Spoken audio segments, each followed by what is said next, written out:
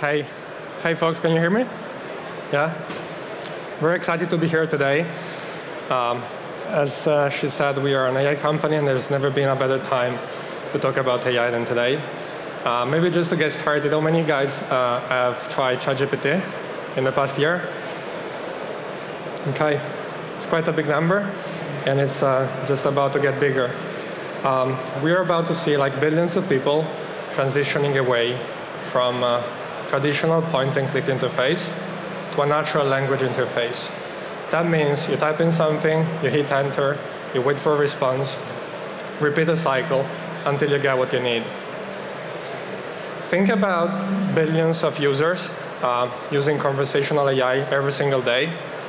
That will make for trillions of interactions every single year. And so you're going to end up with a lot of unstructured data, a lot of text, and that might feel very messy and very overwhelming. But in reality, this is a gold mine of information, if you just know how to look at it. So the question is, how do we find out what the heck is going on in these conversations? To start with, um, what are our users doing? Are they trying uh, to generate a LinkedIn post? Are they trying to summarize a document? Or perhaps just testing out some code? We don't know. Also, what are our users' most common questions?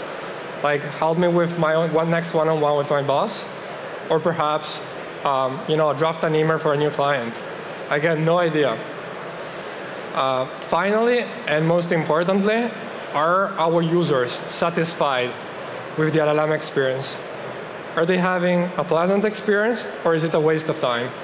And if it's a waste of time, why is the user experience so bad? Answering these questions at scale is not easy. There are a few ways to get started, pretty good ones, uh, but none of this is allowing you to really understand what's happening in the conversation, so let me tell you why. First thing, you might want to manually analyze every single user conversation, one by one. And that's obviously like a great starting point when you're at the start. Uh, you've got a few beta users, you're going to get a lot of insights, but it's impossible to scale. It's impossible to scale because it will be too time consuming once you have thousands of users.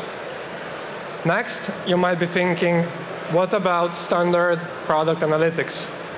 You know, checking how often people log in, how long they stay logged in for, where they click, and so on and so forth. Again, that's a good starting point, but it's not good enough because it's only scratching the surface.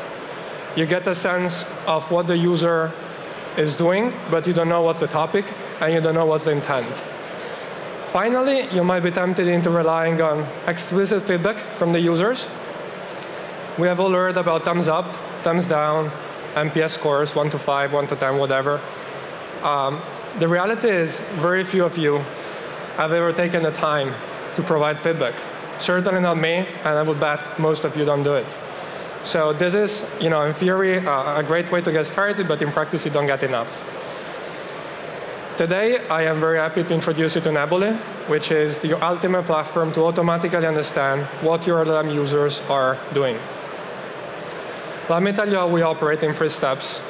First thing first, segmentation. Every time you pick a conversation, it's made up of multiple segments. That's where the user intent changes. So the first thing we do is splitting it up. This is an example. This is just one user. It's one conversation, but the user wants to do three different things. So these are three different segments.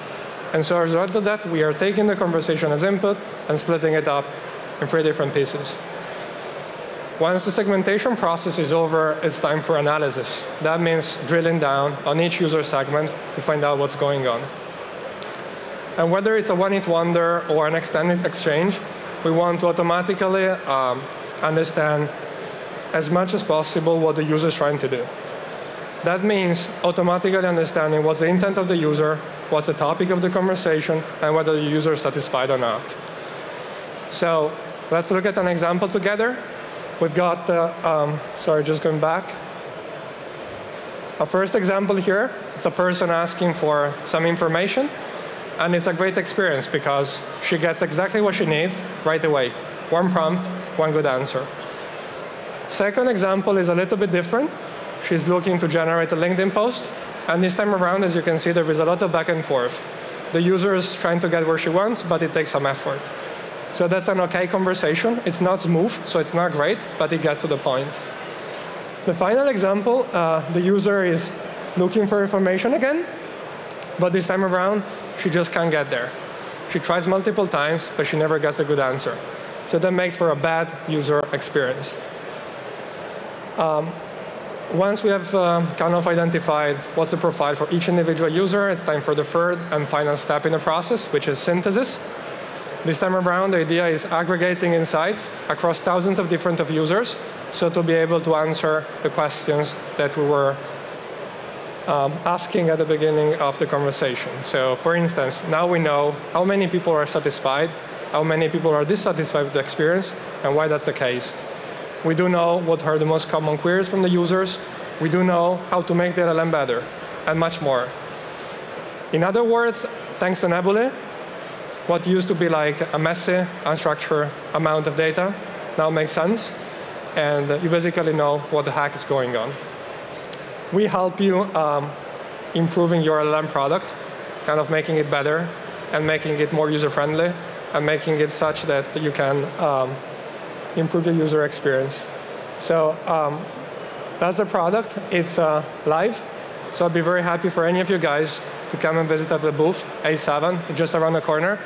Um, product is live. Very happy for you to give it a spin, especially if you do use LLMs or conversational AI or ChatGPT. Um, we're just over there, and I'll see you later.